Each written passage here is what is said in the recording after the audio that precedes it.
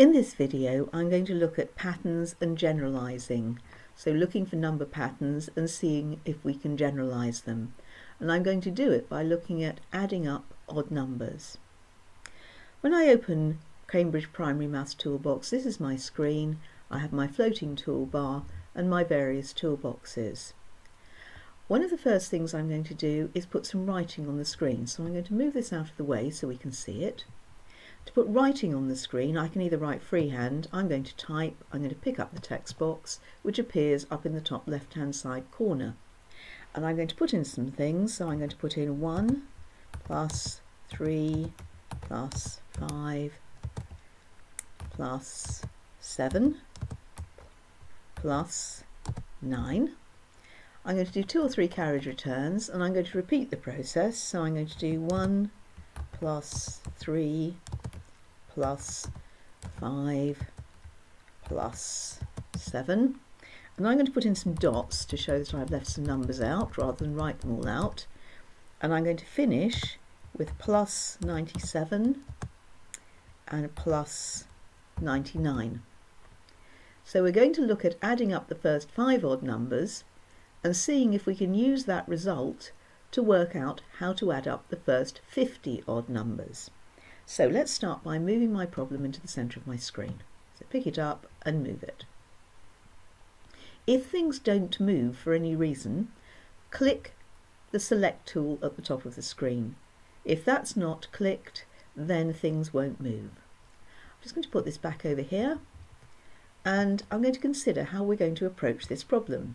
You can discuss it with the pupils. 1 plus 3 plus 5 plus 7 plus 9 is easy enough to add up. We could do that. We could also add up by hand the numbers between 1 and 99, the odd numbers, but it would take rather a long time and there's a chance we might make a mistake. So what we're going to look at today is can we find an easier way of doing it and can we generalise? So I'm going to put in a new sheet of paper. So we're going to go up to the top, click for a new page and I'm going to start by putting a grid onto my sheet. So I'm going to click here for grids and backgrounds I'm going to click for a grid, that's that one, and I'm going to click OK. And there we have my grid. Why do I need a grid to add up 1 plus 3 plus 5 plus 7 plus 9? Well, I don't unless I'm looking for a pattern. Now I'm next going to click into my shape and space toolbox and I'm going to click on this picture of a dog at the end. So just click on that. What that will do is it will colour in squares for me, currently in black. So I'm going to click a black square. So there's my number one. I'm going to click a black square again. I'm going to change the colour to yellow and I'm going to add three to it. But I'm going to position them in a particular way.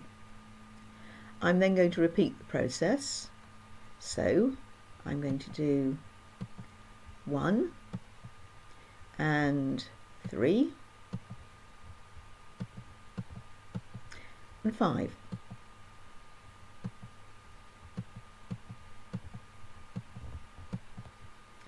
So we can see here, my first odd number is 1, my second odd number is 3, my third odd number is 5, and if I push them together, I can make squares. So, what does this tell me? Well, this tells me, and let's do some writing again, so I'm just going to move this out of the way and do some typing. To type, click the pen tool, click the text box and let's just type. So let's have a look. The first number we've got is 1 and to make my pattern I'm just going to put equals 1 times 1 and that equals 1. Seems a bit long-winded, couple of spaces and let's look at the next square. The next square is 1 plus 3 and that's the same as a 2 by 2 square. So 2 by 2 and that equals 4. The next one is 1 plus 3 plus 5 and that equals, now that makes when we push it together a 3 by 3 square and 3 times 3 is 9. So there's some typing so let's have a look, let's click away from it make sure I've got the select arrow selected let's pull it out of the way. So let's have a look at our pattern. If we add up the first odd number, we get 1. The second odd number, we get 2 times 2 as the sum, which is 4.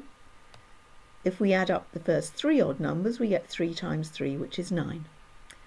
On the next page, I've prepared another sheet. Let's remove the grid so we can see it more easily. So I'm just going to click again, and I'm just going to click the white background to give me a background without a grid.